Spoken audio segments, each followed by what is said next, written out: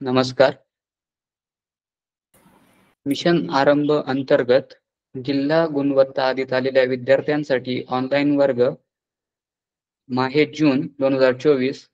या अंतर्गत आज दिनांक एकोणावीस जून दोन हजार चोवीस रोजी आपण बुद्धिमत्ता चाचणी या विषयातील घटक क्रम यातील उपघटक आकृत्या यांचा आज अभ्यास करणार आहोत. आकृत्या या घटकाला जवळजवळ एक प्रश्न हा निश्चित असतो ज्याचे गुण हे दोन असतात आणि त्याचा भारांश हा देखील दोन असतो. आपल्याला एका प्रश्नासाठी आज बरेच आपण उदाहरणं सोडवूयात आणि हा एक प्रश्न जो असेल तो आपण नक्कीच या आजच्या लेक्चर नंतर परीक्षेतही सोडवू शकू याचा आपण प्रयत्न करूयात. आकृत्या आकृत्या मुख्यतः दोन प्रकारच्या आपल्याला बघायला मिळतात.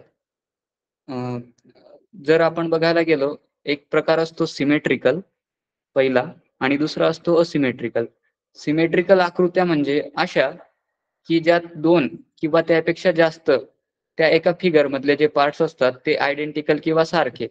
समान असतात. तर त्या आकृतीला आपण सममित आकृती अथवा सिमेट्रिकल डायग्राम असे म्हणतो. आणि दुसरी जी असते आकृतीचा तिला असममित म्हणतो. जसं की असिमेट्रिकल त्याचेही आपण उदाहरण आज बघूयात. निसर्गात आपल्याला सिमेट्री बघायला मिळते. जसं की आता आपण इथे पान बघ बघत आहोत. या पानामध्ये दोन वेगवेगळे भाग झालेले आहेत.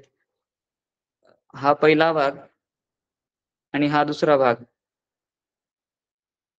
यामध्ये समान शिरा या जात असतात. ही एक सिमेट्रीचं उदाहरण आहे. सममित आकृती याला म्हणता येईल. तसेच इथे फुलपाखरू ही दिसतंय. या फुलपाखरू मध्ये ही जर आपण सरळ व्हर्टिकल लाईन काढली उभी रेषा काढली तर आपल्याला ह्या फुलपाखराचे दोन समान भाग झालेले दिसतात आढळून येतात. हा पहिला भाग जो आहे यात आपल्याला अ, फुलपाखराचे पंख त्यानंतर दुसऱ्या भागातही आपल्याला फुलपाखराचे पंख हे समान अ, दिसतात. तसेच फूल जे फूल आहे इथे दिसत दिसत असलेले फूल याचेही जर आपण सरळ रेषा काढून जर दोन भाग केले तर आपल्याला सरळ समान दोन भाग झालेले दिसतात. हा पहिला भाग जो मी आता इथे रेखाटतोय हा पहिला भाग आणि हा दुसरा भाग.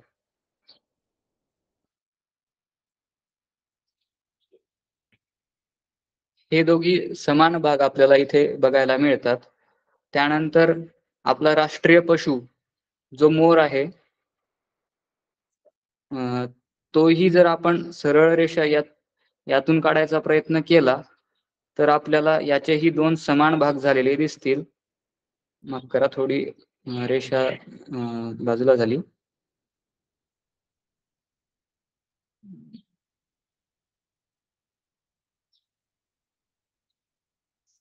यात आपण बघू शकतो मोराचेही दोन समान भाग झालेले आपल्याला दिसतील.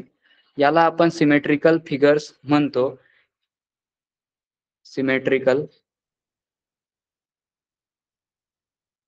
फिगर्स और ऑब्जेक्ट्स आपण जो दररोज दररोजच्या जेवणात जो कांदा वापरतो तोही सिमेट्रिकलच असतो. जवळजवळ आपल्याला सिमेट्रिकल बघायला मिळतात. त्यानंतर खेळण्यातील बॉल असेल तोही आपल्याला सिमेट्री बघायला मिळते. त्यानंतर चौकोन जो असतो स्क्वेअर त्यातही आपल्याला सिमेट्री ही बघायला मिळते. त्यानंतर इथे स्टार दिलेला आहे. या स्टारमध्येही दोन प्रकारचे सिमेट्री दिसत आहेत. एक आउटसाइडने ज्या रेषा जात आहेत त्या यातूनही आपल्याला आता समजा इथे आपण ही पहिली रेष काढली तर यातनं मला इकडचा जो हा भाग भेटलाय यातही मला एक सिमेट्री बघायला मिळते. आणि हा जो दुसरा भाग आहे यातही मला सिमेट्री बघायला मिळेल. म्हणजे समान भाग दिसत आहेत असेच आपण याचे जर सहा भाग केले हा पहिला हा दुसरा हा तिसरा हा चौथा हा पाचवा आणि हा सहावा.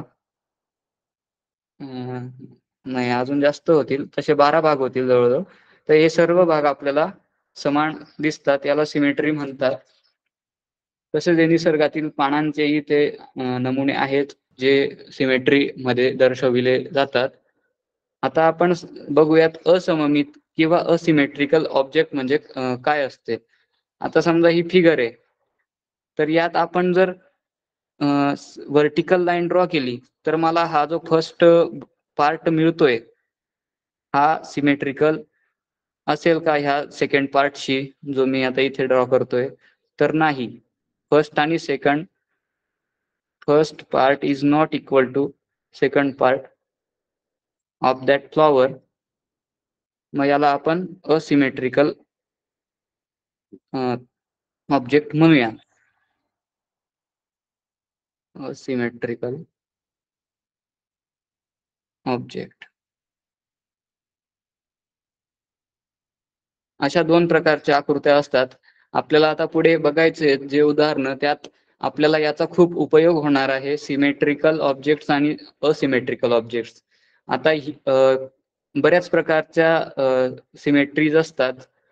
टाइप्स ऑफ सिमेट्री आपण जर बघायला गेलो तर इथे पहिल्या ए रांगेमध्ये टाइप्स ऑफ सिमेट्रीज ए रांगेमध्ये आपल्याला रेडियल टाईपची सिमेट्री दिसते. रेडियल म्हणजे मध्यामधून जर ज्या रेषा पसरतील त्या रेषांपासून जेव्हा त्या ऑब्जेक्टचे भाग होतील तर ते भाग हे सुद्धा समान असतील. जसं मी आता इथे ही रेषा काढली आहे लाल इंकमध्ये त्या रेषेतनं मला एक हा पूर्ण भाग मिळतोय ह्या फ्लॉवरचा आणि हा जो दुसरा भाग मिळतोय हा आणि हा भाग इकडचा. हा फर्स्ट पार्ट आणि हा सेकंड पार्ट हे दोघी समान भाग आपल्याला इथे जाणवतायत दिसतायत. त्यामुळे आपण याला रेडियल टाइप ऑफ सिमेट्री असं म्हणू. त्यानंतर इथे द्विपक्षीय बायलॅटरल हा दुसरा टाईप आहे. ज्यात आपल्याला समान दोन भाग झालेले दिसतील. आता इथे रेडियलमध्ये असं होतं की मध्यापासनं ज्या रेषा निघत होत्या त्या समान याच्यात आपल्याला त्या ऑब्जेक्टला भागत होत्या आणि त्यातनं आपल्याला समान भाग मिळत होते त्या ऑब्जेक्टचे पण इथे बायलॅटरलमध्ये आपण व्हर्टिकल लाईन ड्रॉ केलेली आहे ज्यातनं आपल्याला दोन समान भाग झालेले दिसत आहेत तर याला आपण बायलॅटरल किंवा द्विपक्षीय सिमेट्री म्हणूया. त्यानंतर बाय सिमेट्रिक हा द्विमितीय असतो. म्हणजे दोन डायमेन्शनल जसं की आता इथे माझ्याकडनं की फर्स्ट आपण हे म्हणूयात डायमेन्शन आणि ही second type of orientation we can say हा सेकंड ओरिएंटेशन झाला. तर यातनं आपण जेव्हा बघू जर हॉरिझॉन्टल लाईनला बघितलं फर्स्ट लाईन जी आहे ती आपली हॉरिझॉन्टल लाईन आहे. हिला जर आपण बघितलं तर यातनंही हा वरचा जो भाग आहे हा आपल्याला खालच्या भागाशी संलग्न किंवा सारखा दिसतो. आणि तेच जर आपण दुसऱ्या भागाशी दुसऱ्या दुसऱ्या ओरिएंटेशनशी कंपेअर करायला गेलो तर हा जो आपल्याला पहिला भाग मिळतोय हा या दुसऱ्या भागाशीही सारखा झालेला दिसतोय. त्यामुळे ह्या टाईप ऑफ सिमेट्रीला bisymmetric type of symmetry असे म्हणतात. याचाही आपल्याला उदाहरणं सोडवताना बराच फायदा होणार आहे. आपण तो बघूयात थोड्या वेळात. त्यानंतर दुसरं म्हणजे दुसऱ्या प्रकारच्या सिमेट्रीमध्ये अँग्युलर सिमेट्री जसं की आता हे जे इथे फ्लॉवर आहे किंवा डायग्राम आहे तर यात तीन भाग झालेले दिसत आहेत या डायग्रामचे आणि ह्या डायग्राममध्ये आपण जर तीन भाग केले रेडियल मधून म्हणजे सेंटरपासनं तर आपल्याला हा एक भाग त्याच्याशी निगडीत असलेला हा दुसरा भाग हा पण मला या पहिल्या भागाशी संलग्न किंवा सारखा झालेला दिसतोय. त्यामुळे याला तिसऱ्या भागाशी आपण जर कंपेअर केलं तर हा तिसरा भागही सारखा झालेला दिसतोय. म्हणजे part one equal to part two equal to part three तर याला एकशे वीस डिग्री मध्ये आपण जर म्हणजे सेंटरपासून मोजलं तर आपल्याला हा एकशे वीस डिग्री एक पार्ट झालेला दिसतोय. तर हे अँग्युलर जेव्हा आपण डायग्राम बघूयात पुढे तर अँगलचाही खूप आपल्याला फायदा होणार आहे. कारण की बऱ्याच डायग्राम्समध्ये आपल्याला अँगल बदलवून आपल्याला ते जी उत्तर आकृती आहे ती मिळणार आहे. तर अँग्युलरचा खूप फायदा होणार आहे. बघूयात आपण पुढचं.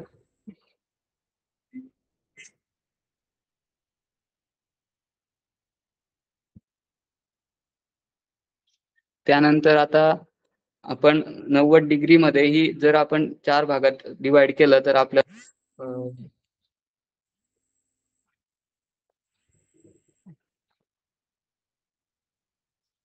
सॉरी चार भागांमध्ये जर डिवाइड केलं तर आपल्याला नव्वद डिग्रीचा कोण झालेला दिसतो आणि याचाही आपल्याला हा first part second part third part आणि फोर्थ पार्ट जो आहे तो सारखा झालेला दिसतो.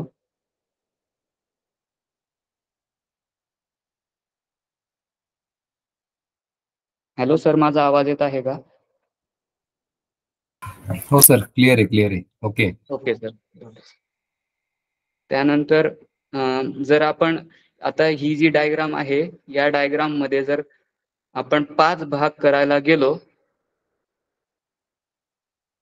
तरीही आपल्याला आता जर याचे मी दोन भाग केले समजा तर मला ही पण बायलॅटरल टाईप ऑफ सिमेट्री ही भेटते आहे. आणि आता जर मी इथं तीन भाग करायला गेलो तरी पण मला इथे भेटेल. आणि जर मी चार भाग केले तर मात्र मला इथे सिमेट्री ही भेटणार नाही. हा जो फर्स्ट पार्ट आहे सेकंड पार्ट आहे हा इक्वल नाहीये थर्ड आणि फोर्थ पार्टशी त्यामुळे आपण याचा विचार करू शकत नाही. म्हणजे नाईन्टी डिग्री जो अँगल बनतो आहे इथं तर त्याचा सेकंड आणि थर्ड पार्ट मॅच होत नसल्यामुळे आपण याच्या पुढच्या टप्प्यामध्ये विचार करू शकतो. म्हणजे आता चार अँगल झाले होते. आता पाच अँगल करूयात. मग पाच अँगल केले तर आपल्याला नक्की इथे symmetry bilateral type of symmetry म्हणजे टाईप ऑफ सिमेट्री पाहायला भेटते. जिचा अँगल असेल बहात्तर टक्के तसंच ही पुढची फिगर जी आहे तिला साठ डिग्रीच्या अँगलनेही आपल्याला सिमेट्री बघायला मिळते. असे हे प्रकार होते. आता आपण पुढे वळूया. आता आपण जर बघायला गेलो इंडियन आर्किटेक्चर हे खूप फाईन म्हणजे खूप छान प्रकारे जुन्या काळातील जे लोक होते त्यांनी बनवून ठेवलेलं आहे. जसं की आता ताजमहल आपण स्क्रीनवर बघत आहोत. या ताजमहलमध्ये आपल्याला सिमेट्री बघायला मिळते. हे जगातल्या एक आश्चर्यांपैकी एक आहे. सोळाशे एकतीस साली हे मानलं गेलं होतं. आता जर आपण इथे टाईप ऑफ सिमेट्री बघायला गेलो जर आता बायलॅटरल सिमेट्री इथे आपल्याला बघायला मिळते ही आपण एक सरळ रेष काढली. यातनं इकडचा जो फर्स्ट पार्ट आहे आणि सेकंड पार्ट आहे तर हा बायलॅटरल टाईप ऑफ सिमेट्री आहे. म्हणजे जेवढं इकडच्या बाजूला जसं स्ट्रक्चर आहे या मॉन्युमेंटचं तसंच ह्या बाजूलाही सेम स्ट्रक्चर आपल्याला इथे बघायला मिळतं. हा झाला पहिला इंडियन आर्किटेक्चर मधला भाग. आता दुसरं जे आहे हवा महल जयपूर हे जयपूरला स्थित आहे. ताजमहल कमेंट बॉक्समध्ये सांगू शकाल का तुम्ही? ताजमहल कुठे स्थित आहे? सांगू शकेल का? ताजमहल कुठे आहे? भारतातील ताजमहल हे कुठल्या राज्यात आणि कुठे आहे?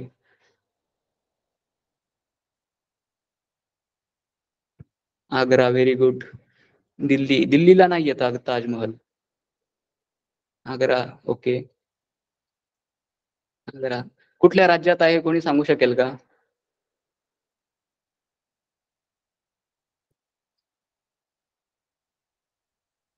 ओके. आग्रा हे कुठल्या राज्यात आहे? कोणी सांगू शकेल का? जयपूर नाही जयपूर नाही आग्राला आहे ताजमहल. मुंबईला नाही ताजमहल. Uttar Pradesh very good. हरियाणात नाही आहे ताजमहल. उत्तर प्रदेशमध्ये आहे. Very good. चालेल. आणि आता दुसरं टाईप ऑफ सिमेट्रीमध्ये हे उदाहरण आपल्याकडे हे जयपूरचं पॅलेस आहे हवा महल ज्याला म्हणतात. हे जयपूरला स्थित आहे. जयपूर कोणत्या राज्यात आहे? कोणी सांगू शकेल का? In which state does Jaipur is in? कोणी सांगू very good Rajasthan. And and what is the capital of rajasthan? What is the capital of rajasthan? कोणी सांगू शकेल का? Very good very good very good बऱ्याच विद्यार्थ्यांचे बरोबर उत्तर आलेले आहेत जयपूर. राजस्थानची राजधानी ही जयपूर आहे. या जयपूरमध्ये आपल्याला हा हवा महल बघायला भेटतो. हा सतराशे नव्याण्णव साली बनवला गेला होता. लालचंद उस्ताद यांच्याद्वारे. आणि हा पूर्णपणे गुलाबी रंगात आहे. याचीही आपण जर बायलॅटरल सिमेट्री बघायला गेलो तर आपल्याला हा सिमेट्रिकल बघायला मिळतो. असं. हा पहिला भाग जो आहे आणि हा दुसरा भाग आहे हा सिमेट्रिकल आहे. त्यानंतर आपण आता मुख्य घटकाकडे वळूयात. आकृती. आतापर्यंत फक्त मी तुम्हाला ओरिएंटेशन दिलं की आकृती ही कशा प्रकारची असते आणि त्यात कसे कसे पॅटर्न्स बघायला मिळतात. त्यानंतर त्यांचं ओरिएंटेशन कसं कसं रोटेट होऊ शकतं. त्यानंतर आपण त्यात कसे कसे तर्क लावू शकतो हे आपण बघितलंय. आता आकृती. या उपघटकातील प्रश्नात तीन चार किंवा पाच आकृत्यांची एक मालिका दिलेली असते. आणि त्या मालिकेत शेवटी प्रश्नचिन्हाच्या जागी कोणती आकृती येईल हे आपल्याला पर्यायातून शोधायचं असतं. ठीक आहे. आता टीप बघूया आपण. आकृत्यां आकृत्यांच्या मालिकेत पहिल्या आकृतीपासून क्रमशः बदल होत होत शेवटची आकृती तयार होते. म्हणजे प्रथम आकृती जर आपल्याला दिलेली आहे जसं की आता इथे नमुना प्रश्नात दिलेली आहे ही एक प्रथम आकृती आहे. आणि त्यात बदल होत होत आता इथे तिचा संबंध दिला आहे दुसऱ्या आकृतीशी. मग त्या आकृतीत बदल होत होत आपल्याला पुढची आकृती मिळते. आणि पुढच्या आकृतीत बदल होऊन त्याच्या पुढची आकृती मिळते. म्हणजे ही सिरीज अशीच चालूच असते. आपल्या घटनाक्रम आहे त्यात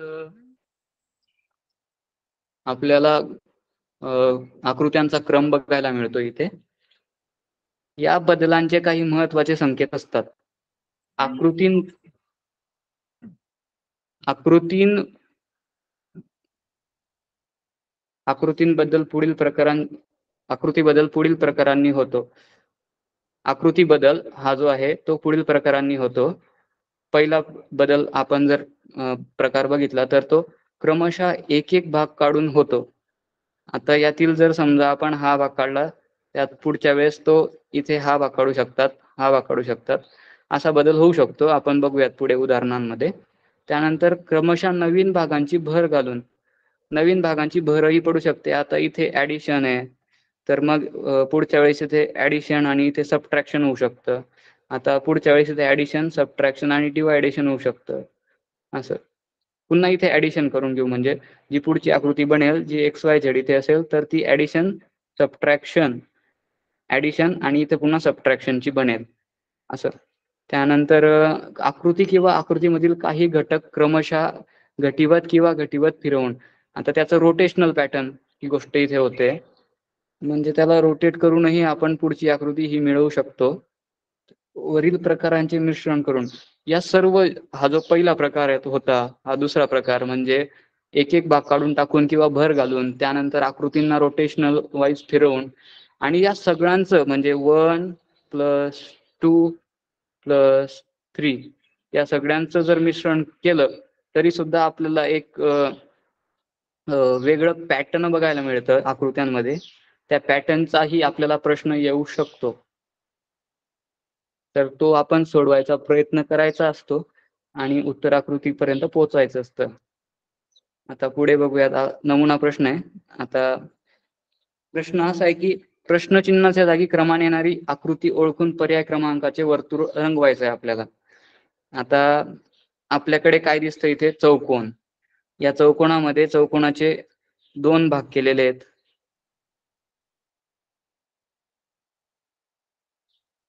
दोन भाग केले त्यात वर्तुळ काढलेले आहेत छोटे. आणि त्या छोट्या वर्तुळांमध्ये एक वर्तुळ हे रंगवलेलं आहे आणि दुसरं वर्तुळ हे रंगवलेलं नाहीये. मग आता पुढच्या जी आकृती आहे ही फर्स्ट डायग्राम ही सेकंड डायग्राम ही थर्ड आणि आपल्याला फोर्थ डायग्राम ही काढायची आहे. सेकंड डायग्राममध्ये त्यांनी या पहिल्या आकृतीला दुस फोर्टी फाय डिग्री ओरिएंटेशनने फिरवलेलं आहे. मग ती दुसरी आकृती आपल्याला अशी मिळते. म्हणजे ज्यात हा जो रिकामा भाग होता हा रिकामा भाग हा हा पण फोर्टी फाय डिग्री अँगलला फिरायला आहे. आणि हा जो काळा भाग होता तो मात्र वन एटी डिग्री वरती गेलेला आहे फिरलेला आहे. त्यामुळे तो अ, इकडच्या बाजूला आलेला आहे. म्हणजे तो विरुद्ध दिशेला गेलेला आहे असं म्हणूयात सरळ आपण. त्यानंतर पुन्हा चौकोन हा पंचेचाळीस अंशाने फिरवलेला आहे. आणि जो पांढरा भाग होता तोही अ, त्यांनी फिरवलेला आहे. त्यानंतर आपल्याला चौथी आकृती काढायची आहे. मग चौथी आकृती काढायला आपण जेव्हा संबंध जोडतो मग सगळ्यात पहिले आपल्याला पुन्हा पुन्हा चौकोन फिरवावा लागतो. यात चौकोन हा वरती दिशेला होता. त्यानंतर हा म्हणजे जी मधली चौकोनाची जी दुभाजक होती ती वरच्या दिशेला होती. त्यानंतर ही फोर्टी फाय डिग्री फिराली आहे. मग अजून फोर्टी फाय डिग्री फिराली आहे. मग ही अजून जेव्हा फिरेल फोर्टी फाय डिग्री तर ही जी दुभाजक असेल ही पुढच्या डायग्राममध्ये खालच्या दिशेला असेल. ही जी डायग्राम आहे तर यात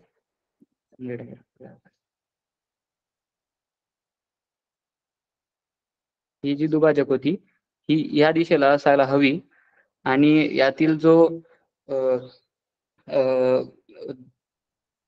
हम्म, काहीतरी चुकतंय का? आपण चौकोनच फिरवला नव्हता मागच्या वेळेस. आता चौकोन फिरवला तर ही जी दुभाजक होती ती फिरवायला हवी. तर ती फिरवली अशी. आणि मग आपण जो रिकामा गोल होता वर्तुळ आणि जे भरलेलं वर्तुळ होतं ते जेव्हा आपण फिरवू तेव्हा ते ह्या ठिकाणी एक येतंय आणि ह्या ठिकाणी येतंय. मात्र भरलेलं वर्तुळ हे या ठिकाणी येते त्यामुळे आपल्याला इथे पर्याय क्रमांक दोन हा मिळतो त्यानंतर आपण आता स्वाध्यायाकडे वळूयात. प्रश्न क्रमांक एक आपण आता सोडवायला घेऊ. आपण आपल्याला आता वेळ एक मिनिटाचा असेल ज्यात आपल्याला ही आकृती सोडवायची आहे आणि याचं उत्तर काढायचं आहे. प्रश्न क्रमांक एक सोडव सोडवायला घेऊयात आपण आता. तुम्हाला एक मिनिटाचा वेळ हा दिला जातोय. तुम्ही सोडवायचं स्टार्ट करायचं.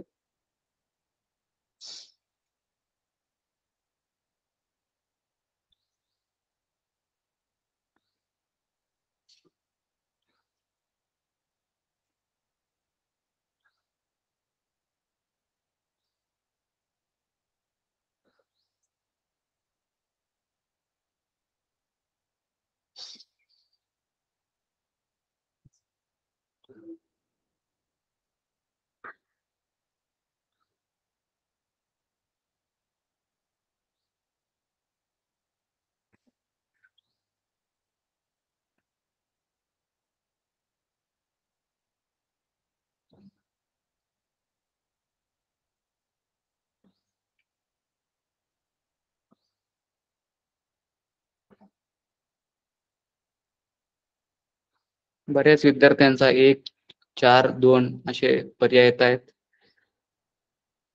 तीन दोन एक आपला टायमर संपलेला आहे. आपण आता याचं उत्तर बघूयात. बऱ्याच विद्यार्थ्यांनी चार उत्तर दिलंय. बघूयात आपण आता उत्तराकडे जाऊयात. सर्वप्रथम आपल्याला इथे कर दिसतोय. हा अ, मागे पुढे होत जाण्याला झाला- जाणारा कर्व आहे. या कर्वमध्ये आपण जर पुढची आकृतीशी लिंक संबंध शोधायचा गेलो तर आपल्याला सर्वप्रथम हा जो वरचा भाग होता हा नाहीसा झालेला दिसतोय. ठीक आहे? हा जो वरचा भाग होता हा नाहीसा झालेला दिसतोय. म्हणजे आपल्याला उरलेली आकृती ही अशीच मिळते फक्त. म्हणजे फक्त ही अशी. इथून आकार हा जो आहे तो मिळतोय. त्यानंतर पुढच्या आकृतीशी आपण जेव्हा संबंध जायला बघायला जातोय तेव्हा मात्र वरच्या बाजूचे जे फर्स्ट डायग्राममध्ये कॅन्सल आउट झालेला कर होता तो मात्र आता तसाच दिसतो इथे. पण मात्र इथे खालच्या बाजूचा जो कर होता तो गेलेला आहे. त्यामुळे इथे आपल्याला एक पॅटर्न दिसतोय. वर खाली. मग मात्र इथे पुन्हा जेव्हा आपण ही चौथी डायग्राम काढायला जाऊ तेव्हा इथे आपल्याला पुन्हा वरची जी वर वरचा जो कर्व असेल वक्र म्हणता येईल त्याला मराठीत तर तो आपल्याला मात्र पुसावा लागेल. त्यामुळे आपली जी अपेक्षित डायग्राम आहे उत्तराची ती आपल्याला कशी मिळेल तर ती आपण ड्रॉ करूयात इथे. तुम्ही ही वही वहीमध्ये याची नोंद करत राहायची आहे. आपण आता डायग्राम काढायला जाऊ. वरचा बाजू आपल्याला आता काढून टाकायचा आहे. म्हणजे फक्त इथून इथून इथून आणि इथून. म्हणजे आपल्याला एक प्रकारे एस हा घटक मिळतोय. हा वक्र मिळतोय.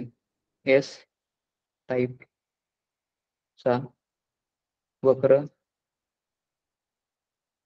असा हा मिळतोय. मग यात आपल्याला दिसतंय का फर्स्ट ऑप्शनमध्ये यस आहे का? नाही. तर तो उलटा यस झालाय. सेकंड आकृतीमध्ये यस आहे का? आहे पण मात्र याची जी खालची बाजू आहे ती या उत्तरमध्ये आहे. या उत्तर पर्यायामध्ये आहे. तर त्यामुळे हाही आपला बाद झालेला आहे. त्यानंतर तिसरं ऑप्शन यात यस आहे मात्र त्याचं ओरिएंटेशन जे आहे ते वेगळ्या दिशेचं आहे. त्यामुळे हेही आपला पर्याय नसू शकतो. आणि चौथा पर्याय जो आहे आपल्याकडे हा यस आहे. तर याचं उत्तर हे चार हे आपण ऑफिशियल अँसर म्हणून गृहीत धरूया आणि तेच ऑफिशियल अँसर आहे. त्यानंतर प्रश्न क्रमांक दोन. हा सोडवायला घेऊयात. आपल्याकडे एक मिनिटाचा वेळ आहे.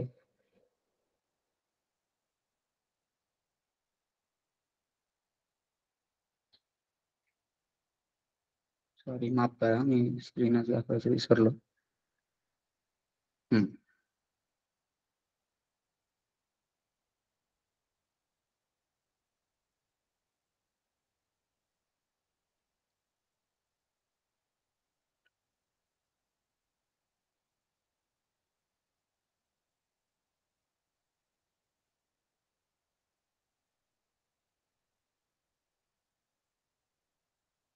बऱ्याच विद्यार्थ्यांचं दोन आणि दोन उत्तर येत आहे आणि बऱ्याच विद्यार्थ्यांचं चार उत्तर येत आहे तर तेही आपण बघणार आहोत.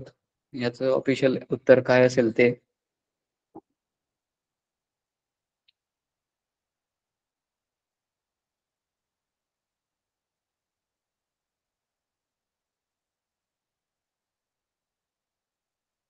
आपला टाइम हा संपत आलेला आहे. वेळ संपत आलेली आहे. बऱ्याच विद्यार्थ्यांनी दोन आणि चार काहींनी तीन पण दिलेलं आहे. आता आपण जाऊयात उत्तराकडे. सर्वप्रथम आपल्याला इथे दोन रिंगण दिसत रिकामे रिंगण दिसत आहेत. त्यानंतर दुसऱ्या आकृतीत ही फर्स्ट आकृती ही सेकंड डायग्राम ही थर्ड डायग्राम ही फोर्थ डायग्राम मग प्रथम आकृतीतून दुसऱ्या आकृतीत जाताना आपल्याला काय आढळतंय तर पहिले दोन जे रिंगण होते ते तसेच राहत आहेत मात्र एक तिसरं रिंगण ऍड होतंय आणि ते मात्र रंगीत असणार आहे म्हणजे जे भरलेलं असणार आहे. त्यानंतर चौथं सॉरी तिसऱ्या आकृतीत जाताना आपल्याला पहिले दोन रिंगण तर सारखेच दिसत आहेत जसे होते तसेच. तिसरं रिंगणही आता इथे सारखंच असणार आहे होतं म्हणजे दिसतंय. आणि जे भरलेल्या रंगामध्ये आहे आणि एक अजून एक रिंगण यात ऍड होतंय. हे ऍड झालेलं रिंगण मात्र रिकामं आहे यात रंग भरलेला नाहीये. मग आता यात आपल्याला संबंध दिसतोय का? पहिल्या आकृतीत दुसऱ्या आकृतीत दुसऱ्या आकृतीत तिसऱ्या आकृतीत. हो पहिले दोन रिंगण रिकामे त्यानंतर तिसरं रिंगण भरलेलं. चौथं रिंगण पुन्हा रिकामं आणि आता इथे पाचवं रिंगण आपल्याला काढावं लागणार आहे जे असणार आहे रंगीत. त्यामुळे आपल्याला एक दोन हे तिसरं रिंगण पुन्हा भरूया आपण. चौथं रिंगण रिकामं काढूयात. आणि अजून एक पाचवं रिंगण काढलंय ज्यात आपल्याला रंग भरावा लागणार. मग अशी जी डायग्राम आहे ती कुठे दिसते का आपल्याला? कुठल्या पर्यायात?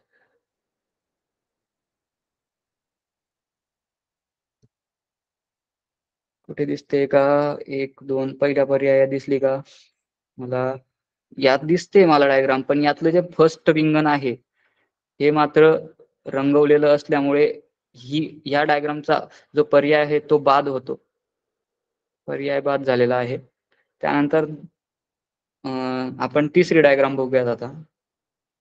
तिसरी डायग्राम बघायला गेलो तर पहिले दोन रिंगण हे रिकामे बरोबर. तिसरं रिंगण भरलेलं चौथं रिंगण रिकाम बरोबर. पाचवं रिंगणही भरलेलं आणि इथे सहावं रिंगण पण एक ऍड झालेलं आहे जे रिकाम आहे. पण आपल्याला सहावी स्टेप विचारलेलीच नाहीये त्यामुळे हा पर्याय बाद होतोय. आता चौथा पर्यायाकडे आपण वळूयात. चौथा पर्याय आहे पहिले दोन रिंगण बरोबर तिसरं रिंगण भरलेलं तेही बरोबर. चौथं रिंगण रिकाम तेही बरोबर. पाचवं रिंगणही दिलेलं आहे मात्र ते भरलेलं नसल्यामुळे हा पर्यायही आपला बाद झालाय. आणि आता आपण दुसऱ्या पर्यायाकडे जेव्हा वळूयात तेव्हा आपल्याला तसे पहिले दोन रिंगण रिकामे तिसरं रिंगण भरलेलं चौथं रिंगण रिकाम आणि पाचवं रिंगण रंगाने भरलेलं. म्हणजे हे उत्तर आपलं बरोबर आहे. आता आपण वळूया तिसऱ्या प्रश्नाकडे. आपल्याला एक मिनिटाचा वेळ दिला जातोय.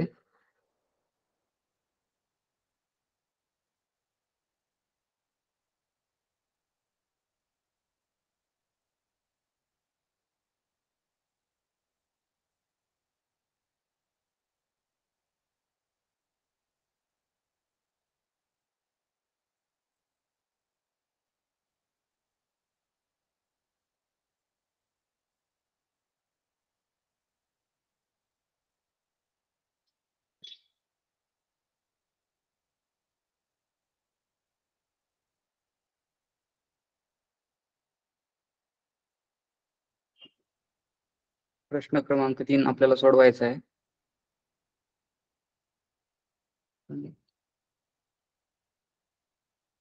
आपल्याला वेळ दिला जातोय.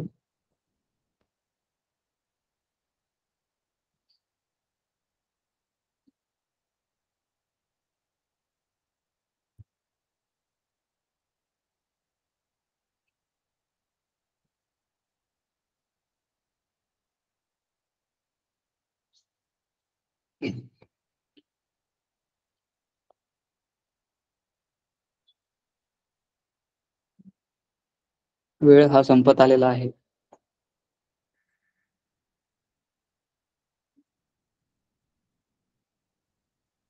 आपण आता याच्या उत्तराकडे वळूयात.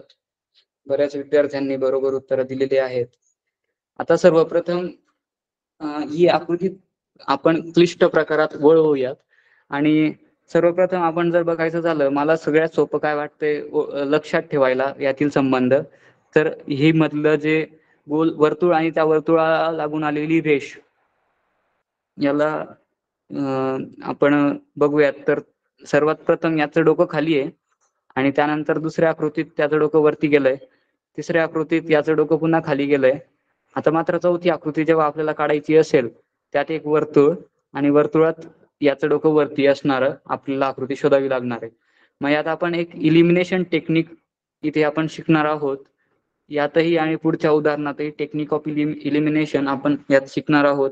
ज्यात आपल्याला असं सम समजतं की जर एखादी जे आपल्याला चार पर्याय दिलेले असतील पर्याय क्रमांक एक दोन तीन आणि चार यातील जे चुकीचे पर्याय असतील ते आपल्याला हटवायचे म्हणजे आपण काही काही आकृत्या अशा असतील की ज्यात आपल्याला उत्तरापर्यंत पोहोचता येणार नाहीये. पण आपण काय करायचं अशा वेळेस? अशा वेळेस आपल्याला चुकीचे उत्तर शोधायची आहेत आणि ते इलिमिनेट करायची आहेत. म्हणजे त्यांचं ऑप्शनच आपल्याला बाद करायचंय. ही टेक्निक आपल्याला खूप महत्वाची आढळते. जेव्हा एखादी कठीण प्रश्न येतो आणि आपल्याला उत्तरापर्यंत पोहोचता येत नाही तेव्हा इलिमिनेशन टेक्निकचे आपल्याला चांगल्यापैकी मदत होते आणि आपल्याला बरोबर उत्तरापर्यंत पोहोचता येतं.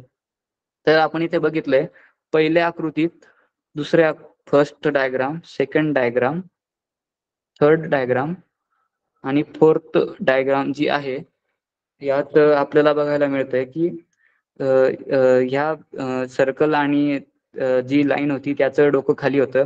त्यानंतर दुसऱ्या आकृतीत वरती डोकं खाली डोकं आणि पुन्हा आपण जी चौथी आकृती आता अपेक्षित उत्तर आपण काढतो आहोत त्यात आपल्याला त्याचं वरती डोकं दाखवावं लागणार आहे. तर आपल्याला आतापर्यंत अशी ही डायग्राम मिळाली आहे. मग आता इथे आपल्याला दिसतंय पर्याय क्रमांकांमध्ये. अशी डायग्राम वाले जे जे पर्याय आहेत ते आपल्याला उत्तर म्हणून गृहीत धरायचे आणि जे पर्याय नाही आहेत जसं की पर्याय क्रमांक दोन यात इथं खाली डोकं आहे तर हे आपल्याला बाद करून द्यायचं आहे. यात पुन्हा खाली डोकं आहे तर हे आपल्याला बाद करून द्यायचं आहे.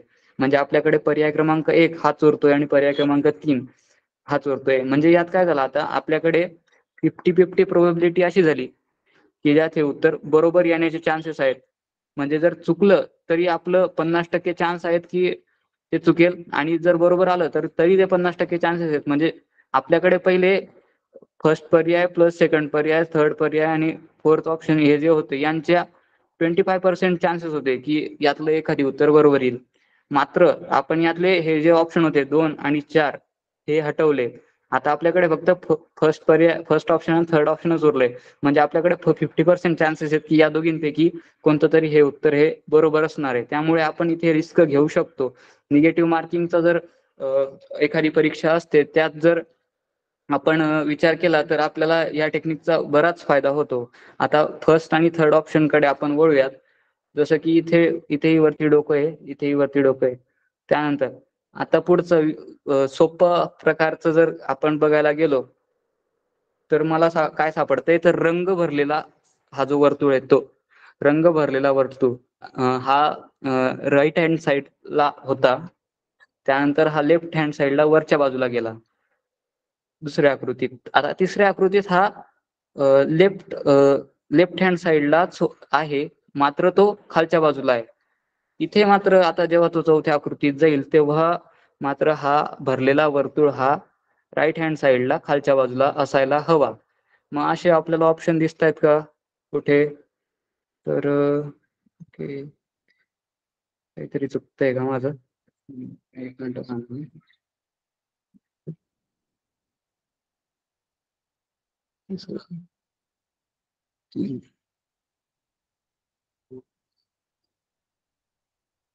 हा.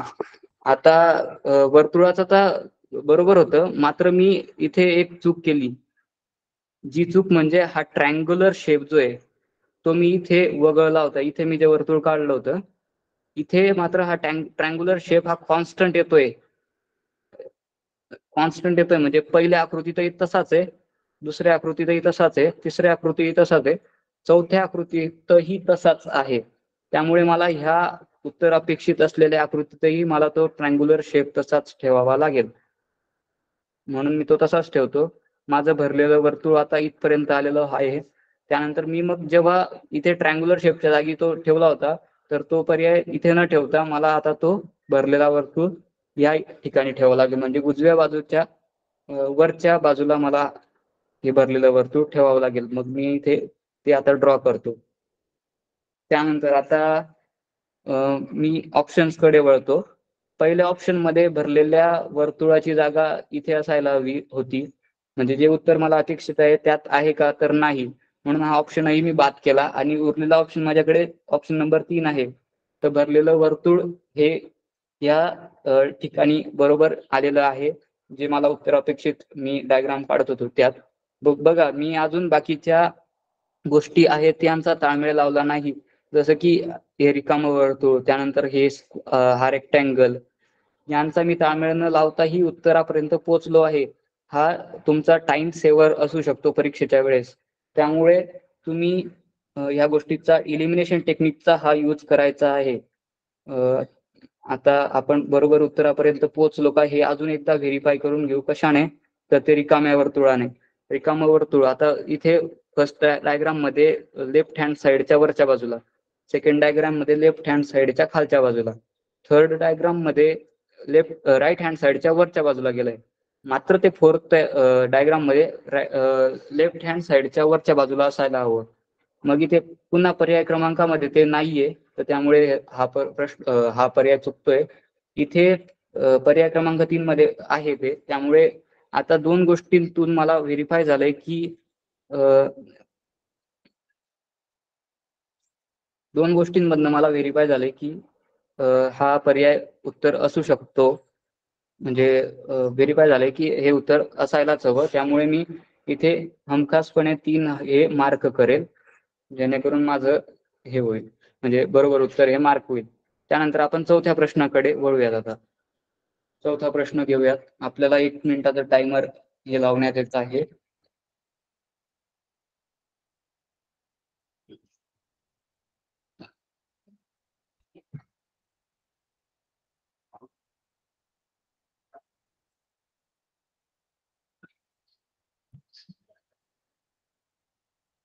एक तीन चार असे ऑप्शन्स येत आहेत.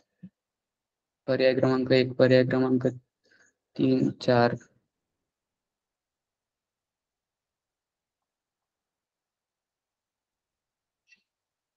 पर्याय क्रमांक तीन पर्याय क्रमांक चार.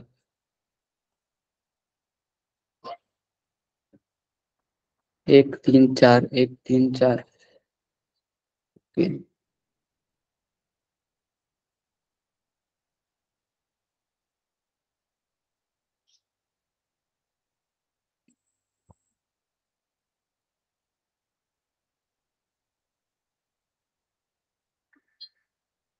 ओके टायमर संपला आहे.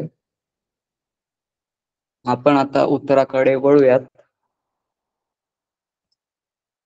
आपल्याला इथे एक डायग्राम दिली ज्यात कर्स आहेत. फर्स्ट कर सेकंड कर थर्ड कर आणि फोर्थ कर आणि मध्ये बिन एक सर्कल आहे. त्यानंतर ट्रायंगल दुसऱ्या आकृतीत आपल्याला बघायला मिळतोय. इथे मात्र एक कर्व गायब होतोय. म्हणजे लेफ्ट हँड साईडचा कर्व गायब झालाय. सेक फर्स्ट आकृतीतून सेकंड आकृतीत येताना एक कर्व गायब झालाय. त्यानंतर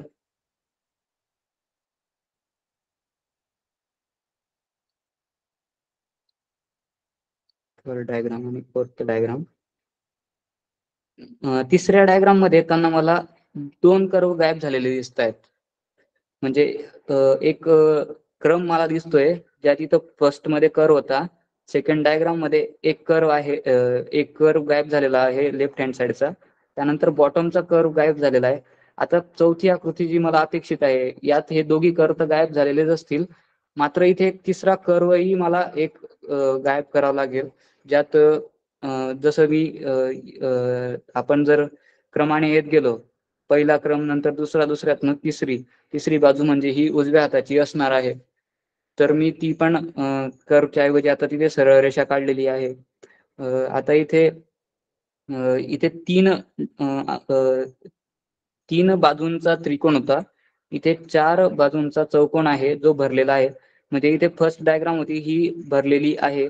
सेकंड डायग्राम ही रिकामी थर्ड डायग्राम ही पुन्हा भरलेली. आणि चौथी डायग्राम ही मात्र तीन चार आणि पाच. म्हणजे एक तो आपल्याला स्टार काढावा लागणार आणि तो मात्र ओपन म्हणजे ज्यात रंग भरलेला नसेल असा तो स्टार आपल्याला शोधावा लागणार आहे. मग आपण फक्त ह्या दोन गोष्टींवरनं आता उत्तर शोधायचंय इलिमिनेशनने एक रिकामा स्टार आणि तीन बाजू ह्या कर्व नसलेल्या. मग इथे एक दोन इथे तिस इथे पण तिसरी बाजू आहे ज्यात कर्व नाही पण आपल्याला अपेक्षित ही बाजू आहे. त्यामुळे ही बाजू अपेक्षित आहे उत्तराची. त्यामुळे आपल्याला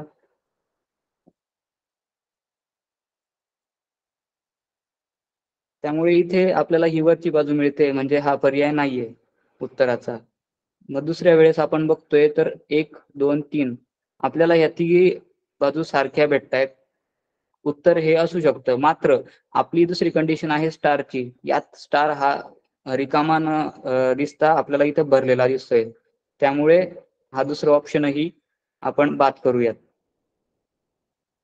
फर्स्ट ऑप्शन बाद सेकंड ऑप्शन बाद झाले. इलिमिनेशन टेक्निकचा आपण यूज करतो इथे. आता तिसऱ्या याच्यात बघूया एक कर्व गायब दुसरी कर्व गायब आणि तिसरी कर्व इथे गायब झालेली आपल्याला दिसते. आणि इथे स्टार ही मात्र रिकामा आहे. तर हे ऑप्शन आपण विचार करू शकतो की हे ऑप्शन असू शकतो उत्तराचं. आता चौथ्या पर्यायाकडे वळूयात. एक बाजू गायब दुसरी बाजू करू नाही तिसरी बाजू ही करू नाही. मग आपण इथे स्टार बघूया. स्टार हा सुद्धा इथे रिकामाच आहे. मग हे दोन ऑप्शनांमधून आपल्याला आता मात्र पुढच्या क्रमाकडे ज्या प्रश्न आकृत्या होत्या यातला क्रम शोधावा लागणार आहे. आता जर जाऊयात आपण इकडे. मग आता बघा इथे हा जो कर्व आहे तो clockwise direct anti clockwise डायरेक्शनला जातोय. त्यानंतर इथे दोन नंबरच्या आकृतीत हा जो कर्व आहे तो क्लॉकवाईज डायरेक्शनने जातोय. इथे तिसऱ्या आकृतीत पुन्हा अँटी क्लॉकवाईज डायरेक्शनने जाताना आपल्याला दिसतोय. आता मात्र चौथ्या आकृतीत म्हणजे बघा इथे आपण लिहिलंय अँटी क्लॉकवाईज इथे क्लॉकवाईज अँटी क्लॉकवाईज क्लॉकवाईज पुन्हा अँटी क्लॉकवाईज इथे मात्र आपल्याला क्लॉकवाईज ही डायग्राम बघावी लागणार आहे. मग पुन्हा आपण इकडे जर बघायला गेलो तर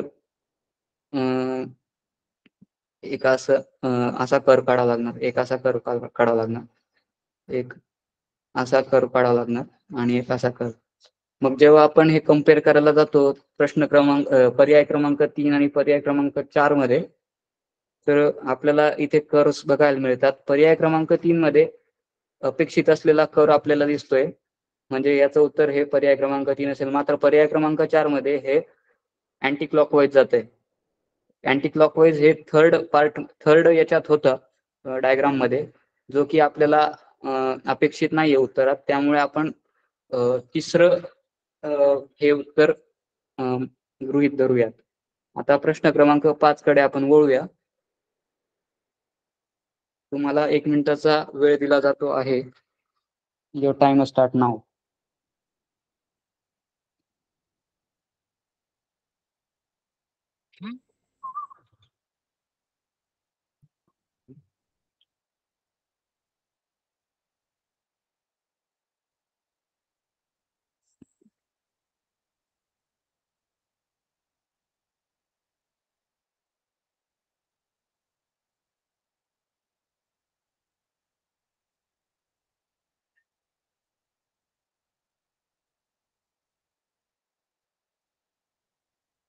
दोन आणि तीन असे पर्याय मला इथे दिसत आहेत. प्रश्न क्रमांक पाच.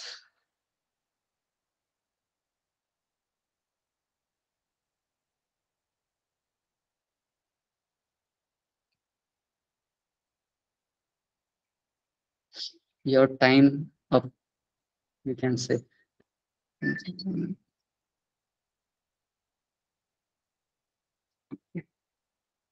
आता आपण बघूया याचं उत्तर काय येतं इथे. सर्वप्रथम आपल्याला इथे सर्कल दिसतोय. याचे भाग झालेले आहेत. त्यानंतर स्क्वेअर आहे. याचेही भाग झालेले आहेत. मग ट्रायंगल याचेही भाग. मात्र इथे काहीतरी मला समान दिसतंय. ते म्हणजे जे झालेले जे भाग आहेत ते. सर्कलला जर आपण इथे पाच भागात डिवाइड केलं तरी ते समान पाच भाग दिस झालेले दिसत आहेत म्हणजे हा जर फर्स्ट भाग हा फर्स्ट भाग first part second part third fourth आणि फिफ्थ हे समान भाग आहेत. One equal to two equal to three equal to four equal to five त्यानंतर दुसरी आकृती जी आहे स्क्वेअरची यातही आपल्याला चार झालेले समान भाग दिसत आहेत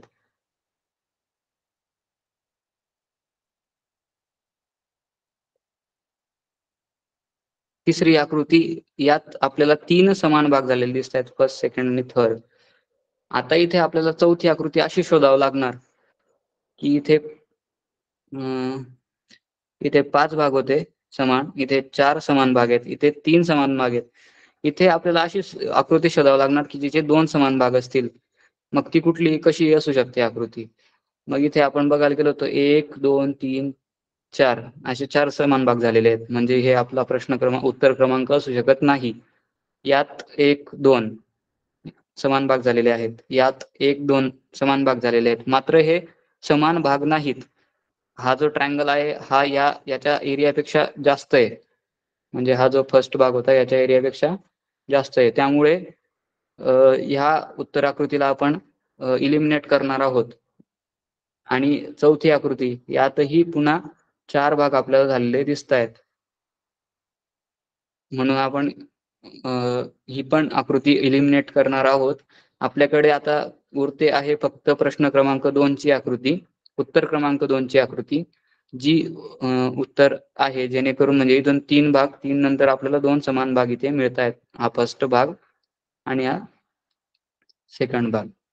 हे दोघी समान भाग आहेत. त्यानंतर आपण सहावा प्रश्न सोडवायला घेऊ. सहावा प्रश्न हा मी मुळातच इथे लिहून ठेवलाय की हा वेळ खाऊ प्रश्न आहे. म्हणजे असे प्रश्न ज्यात आपल्याला तर्क लावायला वेळ आहे. आता इथे सर्कल होतं बघा. हा प्रश्न आपण मुळात सोडवायचा की नाही सोडवायचा हा पहिलेच आपण बघितल्या बघितला विचार करायचा आहे. की सोडवायचा की नाही सोडवायचा हे लगेच आपल्याला इथून कळणार आहे. आता बघा इथं तीन रेषा आहेत. आणि तीन रेषांमध्ये अजून वेगवेगळ्या आकृत्या आहेत. तर आता यात डिफिकल्टी अशी की पहिल्या आकृती दुसऱ्या आकृतीशी संबंध काढायला गेलो तर तो संबंध काढायला मला म्हणजे बराच वेळ जाणार आहे हे आपल्याला इथून दिसत आहेत. त्यामुळे असे प्रश्न जे असतील ते स्किप करायचे आणि जे सोपे प्रश्न असतील जे तुम्हाला मार्क देऊ शकतात ते प्रश्न तुम्ही सर्वप्रथम शो सोडवायचे आहेत. म्हणजे आता जर एका तासाची परीक्षा आहे तर यात तुम्ही सर्वप्रथम सोपे प्रश्न सोडवायचे. मग सोपे तुम्हाला जवळजवळ आता शंभर प्रश्नांची परीक्षा असेल तर यातले सोपे जे असतील ते तुम्हाला जवळजवळ चाळीस वाटतायत. तर ते सर्वप्रथम हे चाळीस प्रश्न सोडवायचे. सर्वप्रथम सोपे प्रश्न सोडवलेत चाळीस. फर्स्ट मग सेकंडमध्ये तुम्ही मध्यम स्वरूपाचे प्रश्न म्हणजे जे तुम्हाला वाटतायत की हे मी सोडवू शकतो किंवा सोडवू शकते तर ते प्रश्न तुम्ही सोडवायचे आहेत. मग हे असू शकतात वीस. त्यानंतर हे कठीण प्रकाराचे प्रश्न. या कठीण प्रकारांमध्ये पुन्हा आपल्याकडे चाळीस प्रश्न असू शकतील. मग हे तिसऱ्या वेळेस म्हणजे जेव्हा तुम्हाला आता इथे जर फर्स्ट आणि सेकंडमध्ये तुमचा एक तासापैकी जर तुमचे चाळीस आणि साठ म्हणजे दोन तासाचा पेपर धरूयात आपण. चाळीस आणि साठ साठ ना साठ एक एक प्रश्नाला एक मार्क धरला तर आपले साठ मिनिटं होतात. आणि जर दीड धरला तर जवळजवळ नव्वद ते शंभर मिनिटं होतील. मग नव्वद आणि शंभर मिनिटांमध्ये आणि उरलेले चाळीस मिनिटं असतील सॉरी पंधरा वीस मिनिटं असतील त्यात हे कठीण प्रश्न तुम्ही करायला हवेत. कारण की हे जवळजवळ म्हणजे मार्क तुमचे म्हणजे तुम्हाला डायव्हर्ट करण्यासाठी टाकलेले असतात. तर सर्वप्रथम सोपे प्रश्न मग त्यानंतर मध्यम प्रकाराचे आणि मग त्यानंतर कठीण प्रकारांच्या प्रश्नांकडे तुम्ही वळायचं असतं. आता आपण नववा प्रश्न सोडवूयात.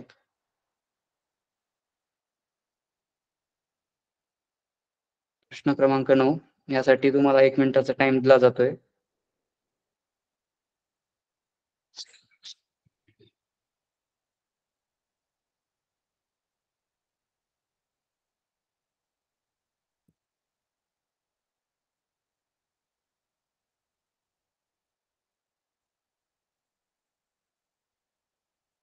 एक आणि चार असे उत्तर बघायला मिळत आहेत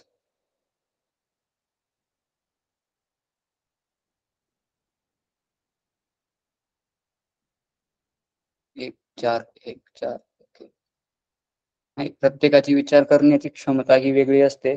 त्यामुळे कोणी वेगळा तर्क लावतो तर कोणी वेगळा तर्क. पण आपल्याला उत्तर आकृती पर्यंत पोहोचण्यासाठी एक विशिष्ट प्रकारचा तर्कच लावावा लागतो. प्रयत्न करायचा आहे आपण वेगवेगळ्या प्रकारे विचार करण्याचा.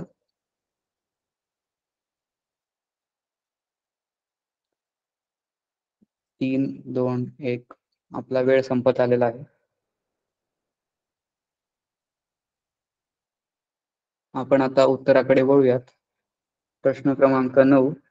आपल्याला सर्वप्रथम ई असं अक्षर दिसतंय.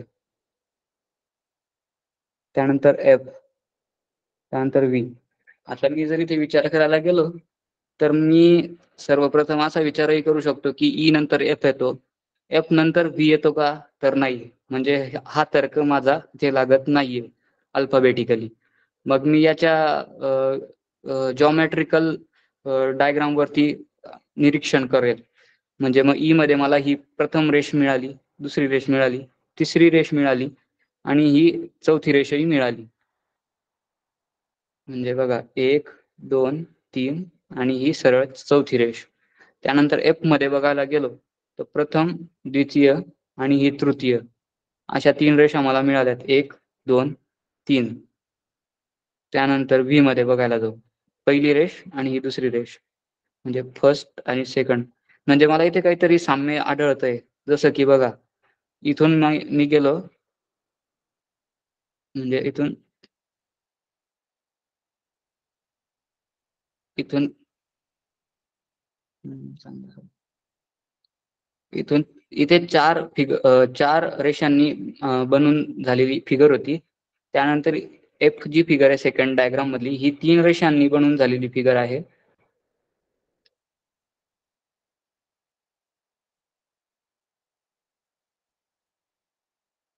त्यानंतर व्ही म्हणजे थर्ड डायग्राम याला आपण अल्फाबेटचं नाव सोपं होण्यासाठी देत आहोत. परीक्षेत तुम्हाला अल्फाबेट मधल्या रेषा येतील असं काही सांगू शकता येत नाही. त्यामुळे मी ते सोपं होण्यासाठी म्हणतोय ते. त्यानंतर तिसऱ्या फिगरमध्ये मला इथे दोन रेषांची डायग्राम मिळाली आहे. आता मी जेव्हा चौथी फिगर उत्तर काढायला जाईल तेव्हा मात्र मला एक लाईनची जी फिगर असेल तीच याचं उत्तर असेल. हे ग्राह्य धरून उत्तर पर्याय उत्तर आकृत्यांमध्ये मला शोधावं लागेल. यात आता उत्तर आकृती फर्स्ट यात मला पहिली रेष दिसते दुसरी रेष दिसते आणि तिसरी रेष दिसते. म्हणजे हे तीन रेषांचे डायग्राम आहे. तर ही मी इलिमिनेट करेल. त्यानंतर उत्तर आकृती क्रमांक दोन. यात मला किती रेषा दिसत आहेत ते मोजूयात. एक दोन तीन. यातही मला पुन्हा तीन रेषा दिसल्यात. ही पण आकृती आपण इलिमिनेट करायची आहे. त्यानंतर प्रश्न उत्तर उत्तर आकृती क्रमांक तीन. मला पहिली रेष दिसली दुसरी आणि तिसरी. यातही मला तीन रेषा दिसत आहेत म्हणजे ही आकृती ही चूक. आणि आता मी चौथ्या आकृतीकडे वळतोय. त्याला एक मेव रेष दिसते. एक मेव रेष दिसते. तर ही पण मी म्हणजे इथे एक एक रेष दिसल्यामुळे म्हणजे माझं जे इथे अपेक्षित उत्तर एक रेषेचं होतं ते मला इथे मिळालंय म्हणून मी प्रश्न क्रमांक चार हा इथे गोल करणार आहे. त्यानंतर आपण प्रश्न क्रमांक दहा इथे वळूया तुम्हाला एक मिनिटाचा वेळ दिला जातोय. युअर टाइम स्टार्ट नाव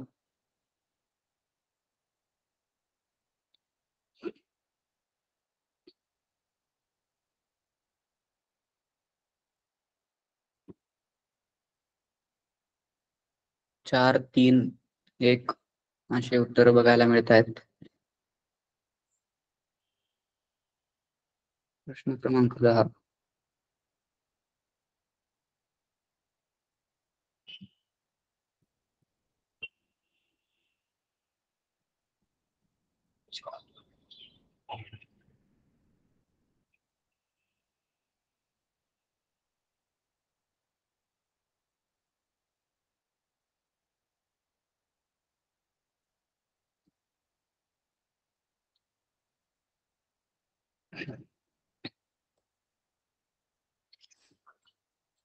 आपला वेळ संपत आलेला आहे.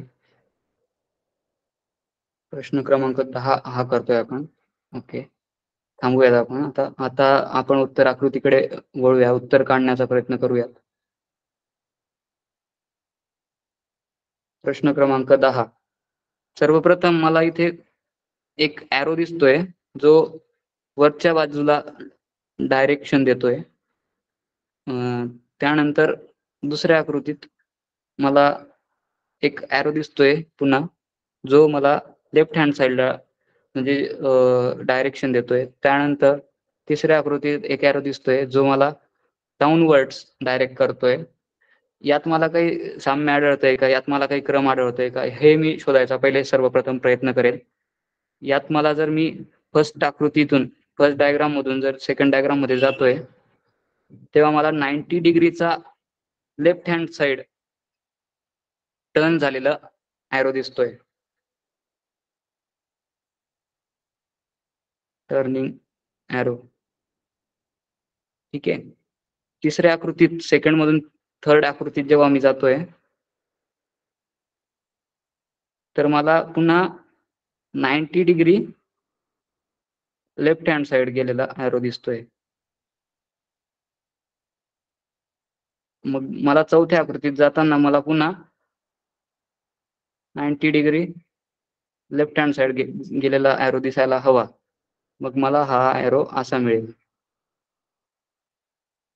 त्यानंतर आता आपण पुन्हा एक सर्कल आणि एक रेषा ही वरच्या बाजूला झालेली आलेली दिसते डायग्राममध्ये. दुसऱ्या आकृतीत ती जो सर्कल आहे रिकामा तो खालच्या बाजूला गेला ॲरोच्या त्यानंतर तिसऱ्या आकृतीत तो पुन्हा वरच्या बाजूला आला ॲरोच्या ही जी वरची बाजू होती आपण ॲरोला सोपं लक्षात ठेवण्यासाठी याला डायरेक्शन दिली होती वरची बाजू. तर म्हणून इथे जेव्हा आता चौथ्या आकृतीत जेव्हा आपण रिकामा सर्कल आणि एक रेष ओळखायला जाऊ तेव्हा मात्र मला हे जे रिकामं टोक होतं म्हणजे जे सर्कल होता रेषेला लागून तो मात्र मला विरुद्ध दिशेला घेऊन जावं लागेल ॲरोच्या जसं की या सेकंड डायग्राममध्ये दिसतंय. फर्स्ट डायग्राममध्ये तो वरच्या बाजूला आहे. सेकंडमध्ये तो खालच्या बाजूला आहे. थर्ड डायग्राममध्ये तो पुन्हा वरच्या बाजूला गेलाय आणि फोर्थ डायग्राममध्ये तो पुन्हा खालच्या बाजूला येईल. म्हणजे मला अशी कुठली डायग्राम दिसते का? तर इथे फर्स्ट डायग्राम मला दिसते मात्र हिचं जे तोंड आहे जे वरच्या बाजूला आहे त्यामुळे पहिलं ऑप्शन बाद झालंय. सेकंड ऑप्शनही बाद झालंय.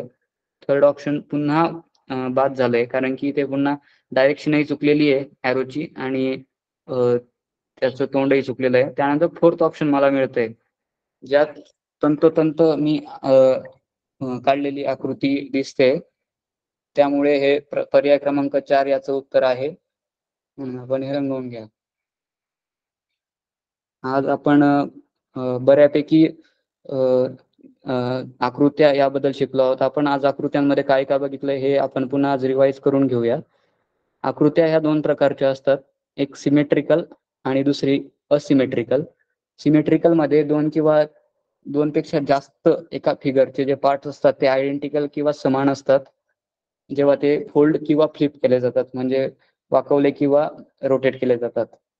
त्यानंतर आपण सिमेट्री बघितली आहे नेचरमध्ये पानात फुलात आणि बटरफ्लायमध्ये फुलपाखरूमध्येही बघितली. त्यानंतर मोरामध्ये बघितली आहे. ओनियनमध्ये बघितली कांद्यात. फुलांमध्ये पानांमध्ये इकडे तिकडे बघ इकडे बघितली आहे. त्यानंतर वेगवेगळ्या प्रकारच्या आपण सिमेट्री बघितली. जसं की रॅडियल सिमेट्री जी मध्यापासून होत जाते सिमेट्री दाखवत जाते एका डायग्रामची त्यानंतर बायलॅटरल सिमेट्री बघितली आहे. बाय सिमेट्रिकल सिमेट्री आपण बघितलेली आहे. त्यानंतर अँग्युलर सिमेट्री आज आपण बघितली आहे. ज्यात one eighty one twenty degree ninety degree seventy two degree आणि सिक्स्टी डिग्रीचे उदाहरणं आपण बघितले आहेत. त्यानंतर examples of symmetry in Indian architecture ही आज आपण बघितलेलं आहे. ज्यात सर्वप्रथम आपण ताजमहलला बघितलं होतं. हा पण आपण आपल्याला सिमेट्री दिसतोय. त्यानंतर आपण हवामहल जयपूर हे बघितलं आहे. यातही आपल्याला सिमेट्री दिसते मग आकृतींमधला आकृती कशी आकृतींचे प्रश्न हे कसे पेपरात येतात हेही आपण बघितलंय. त्यानंतर सोडवायची जी ट्रिक्स असते ती ती सर्वप्रथम आपल्याला एक एक भाग काढून विचार करावा लागतो. त्यानंतर नवीन भागांची भर घालून सर्वप्रथम आपल्याला एक एक भाग काढून त्यानंतर नवीन भागांची भर घालून त्यानंतर आकृती व आकृतीतील आकृती काही घटक क्रमशः गटिवत किंवा फिरवून म्हणजे त्यांचं ओरिएंटेशन चेंज करून आणि या तिघांचं मिश्रण करून आपल्याला विचार करावा लागतो आणि अशा प्रकारे आपल्याला हे प्रश्न सोडवायचे असतात. आणि आपण आज बऱ्यापैकी प्रश्न चांगल्या प्रकारे सोडवले आहेत. राहुल सर. Okay sir. सरांनी बघा आज आपण बुद्धिमत्ता चाचणी या विषयातील क्रम या घटकातील आकृत्या घटक पाहिलेला आहे. याचा बारा दोन टक्के असून याच्यावर एक प्रश्न हमखास असतो? तर आज आपल्याला तज्ञ मार्गदर्शन म्हणून जिल्हा परिषद प्राथमिक शाळा धनगरवाडी तालुका राहते येथील मान्य श्री विवेक मोरे सरांनी सखोल असं मार्गदर्शन केलेलं आहे. सरांनी एकदम सुरुवातीला त्याचं स्पष्टीकरण वेगवेगळ्या प्रकारच्या आकृत्या ऐतिहासिक स्थळ दाखवून तुम्हाला त्याचं कन्सेप्ट क्लिअर केलेलं आहे. त्यानंतर प्रत्यक्ष उदाहरणं. आणि फक्त उदाहरणाचं उत्तर न सांगता उत्तर आकृतीतील क्ल्यू कसे पकडायचे याबद्दल असं डीपमध्ये विथ प्रेझेंटेशनद्वारे खूप आपल्या डीप मार्गदर्शन केलेलं आहे. मला वाटतं आज जे ऐंशी मुलं ऑनलाईन सेशनला जॉईन होते त्यातला एकाचाही हा प्रश्न प्रश्नपत्रिकेत चुकणार नाही. तर सरांना मी जिल्हा परिषद अहमदनगर व पंचायत समिती राहता शिक्षण विभागातर्फे मनपूर्वक धन्यवाद देतो. आणि आजचा आपला टॉपिक संपला. असं डिक्लेअर करतो. उद्या पुन्हा एकदा आपण नवीन विषयाने पुन्हा एकदा सात वाजता बरोबर वेळेत भेटणार आहोत. सर्व विद्यार्थ्यांनी बरोबर सात वाजता जॉईन होते. तर आजचा आपला घटक संपला. असं मी डिक्लेअर करतो. ओके सर धन्यवाद धन्यवाद.